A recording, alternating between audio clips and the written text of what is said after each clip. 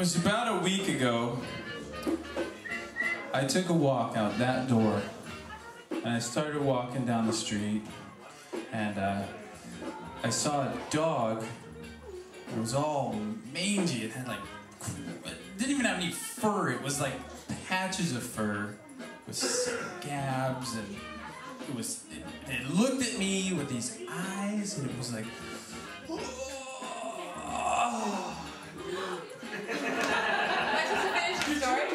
Oh no!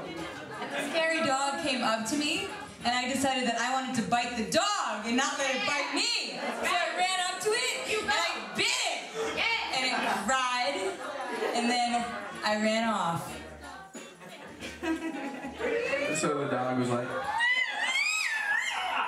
And it, it kept running, and I was just like. I just bit a dog. Tasted like. Oh! It's like chicken. The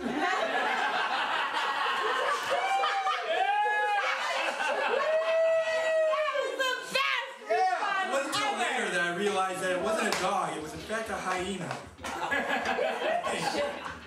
Maybe it was just a mutant dog. I don't know. I went to the I went to a vet and I he told me. Yeah! yeah! This is awesome. He told me to never buy hot black pants and some fancy shoes and head off to Vegas.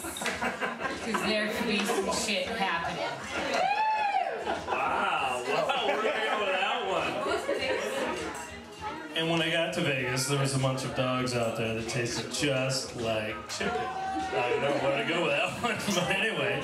So I'm in Vegas and I'm at the buffet, and there's a bunch of dogs there that taste exactly like chicken. And they're all wearing your black pants. I didn't know where to go with that one. Then, and then they were like, like these weird chicken fry things that came up and they were like breathing. And they looked at me with their eyes. Did you say they're breathing then- or they're breathing? They're breathing. And then, and then they looked at me with their eyes. And then, and then, then you ate They looked at me with their eyes and they told me that they needed a pedicure. So I got out my red toenail polish that was called um, the Big Apple. And I painted their toenails and I clipped them and It was at that moment that we realized that we weren't in Vegas, we were actually in Reno. so, we're in Reno getting Big Apple painted on our toenails. Getting a nice massage, and yes! the ladies were massaging our hands, and then, like, Look at the line.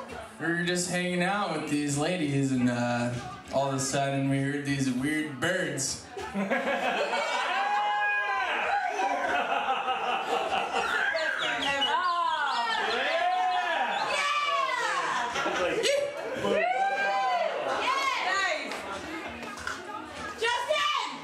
I was with Johnny in Reno, and I thought I was in Vegas too for a little bit. But then I looked up, and there was a Nevada state trooper, and he was like, "Dude, you're in Reno, not Vegas." And I was like, "Holy shit, officer! I am so sorry that I mistook what city I was in."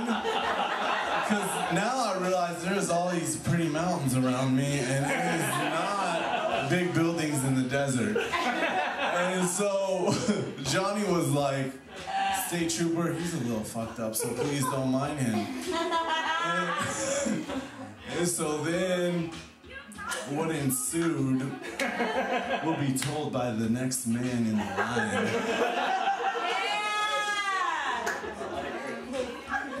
Well, who was sued was actually the owner of the restaurant that the state trooper was on top of. It happened to be a Chinese restaurant that, that happened to Take over the be whole game right here. where one of the special courses was in fact dog. Nice! With red Well, that's why that person got sued because there were toenails in the dog meat. Red toenails, to be exact. Big apple red toenails. And I was one of those people who actually saw one of those toenails. And when I saw it, I just thought, Out of control. Out of control. I love it. Okay, so we were in Reno, right? and uh, after this court case happened, uh, the lawyer kind of, you know, approached me. He said, "Can you approach the bench with me?" I didn't know what that meant, so I thought, well, okay. So I so I walked over to his bench, and then he he asked me to he asked me to sort of lean over a little bit. So I did and uh, I felt him. I felt him sort of touch my, my back right here, and then uh, and then he said, he was like, "Hey John, just just be yourself." He's like, "Don't worry about it. You're at, you're, you're at the bench now. Just be yourself." And I'm like, how is that supposed to work? I'm like, I'm in court. I just got briefed by some lawyer, you know, I'm supposed to lie. And so he reached over and touched my butt again. What are we talking about?